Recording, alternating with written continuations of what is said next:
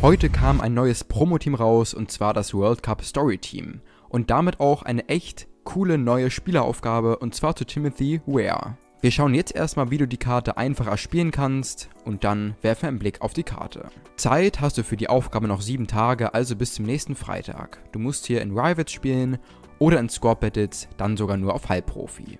Gehen wir die Aufgaben mal durch. Insgesamt musst du hier sieben Spiele gewinnen. Wichtig ist, dass du drei Spiele aus der Ligue A, also der französischen Liga, in deiner Startelf hast.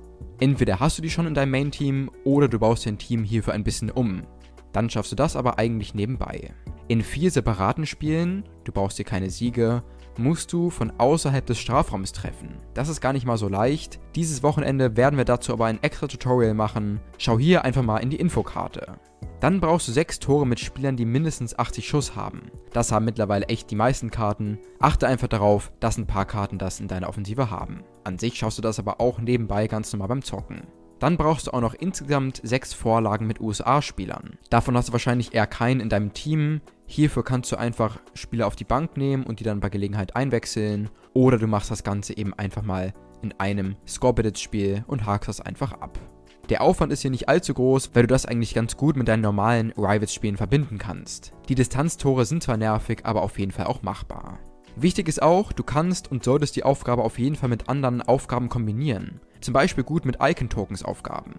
Hier musst du ja zum Beispiel 8 Spiele mit 6 französischen World Cup-Karten in der Startelf gewinnen. Die kannst du zum Beispiel gut in die Defense von deinem Team packen. Auch richtig gut eignet sich Kroatien-Kreation, hier musst du einfach sieben Vorlagen mit Kroatien-Spielern sammeln. Das kannst du dann entweder auch in diesem einen Scorpidet-Spiel machen oder du packst Kroatien-Spieler in dein Team oder auf die Bank. Das gleiche gilt für Senegal-Spieler. So kannst du zum Beispiel gut die Rare-Karte abschließen und eben noch Tokens sammeln. Wir finden hier die Karte, die man bekommt, endlich mal wieder ziemlich gut. Das war bei den letzten Spielaufgaben nicht selbstverständlich. Ware spielt für Lille in der französischen Liga, kommt dazu aus den USA, hat 4 Sterne Skills, leider nur 3 Sterne Weakfoot, das ist aber noch in Ordnung. Gut sind auch seine Arbeitsraten. Richtig stark ist an der Karte, dass Ware nicht nur RM, sondern auch rechter Flügel, linkes Mittelfeld und sogar Stürmer spielen kann. Das ist richtig nice, um ihn einfacher einbauen zu können. Die Werte sehen auch richtig stark aus. Er hat ein gutes Tempo, dazu solide Schusswerte. Auch beim Passen ist er echt nicht schlecht. Dazu kann er ziemlich gut dribbeln, hat gute Kopfverwerte. Die Physis ist allgemein eher so in Ordnung. Gerade mit dem Dead Eye sehen die Werte aber richtig stark aus. Den kann man auf jeden Fall mal zocken. Dazu kann man ihn auch eigentlich ganz gut verlinken. Heute kam zum Beispiel auch noch eine andere coole Karte aus den USA raus. Das Video dazu findest du oben in der Infokarte. Ansonsten gibt es hier aber auch noch Pulisic und Team-Grundlagenaufgaben. Aber auch die Ligue 1 ist echt nicht schlecht zum Verlinken. Von Lille gibt es zum Beispiel noch Giallo, der ein echt starker IV ist. Das war's soweit. Was sagst du zu dieser Spieleraufgabe? Wir probieren Ware auf jeden Fall mitzunehmen.